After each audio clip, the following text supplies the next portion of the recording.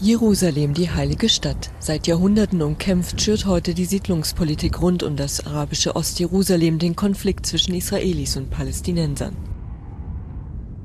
Diese unscheinbare Hügellandschaft am Stadtrand ist der jüngste Streitpunkt.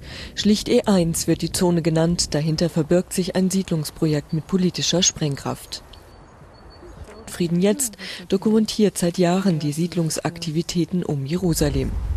Eine Polizeistation steht schon, 3500 Wohnungen sollen folgen.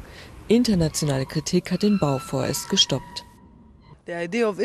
Israels Idee dahinter ist, einen Gürtel israelischer Präsenz zu schaffen, dort wo die Palästinenser ihren Staat errichten wollen.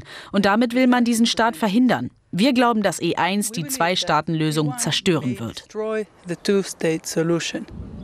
Der seit langem geplante Bau würde die E1-Zone mit der gegenüberliegenden jüdischen Siedlung Mala Adumim verbinden und schiebt sich wie ein Riegel zwischen Westjordanland und Ostjerusalem.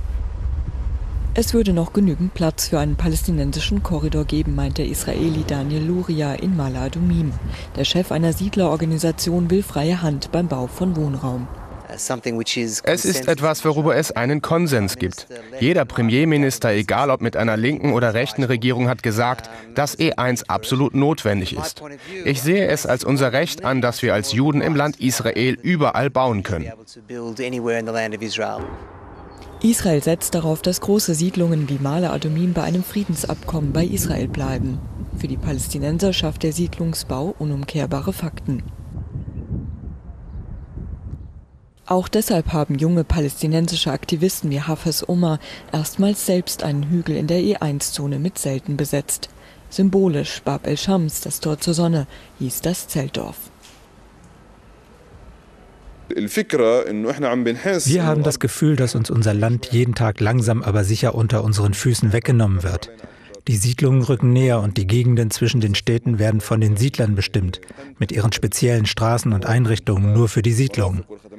Unsere Idee mit Bab el-Shams, das Tor zur Sonne, war, auch auf unsere Weise Fakten zu schaffen.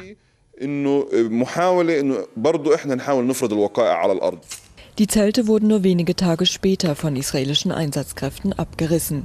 Der Konflikt um den Siedlungsbau rund um Jerusalem bleibt eine der schwierigsten Fragen.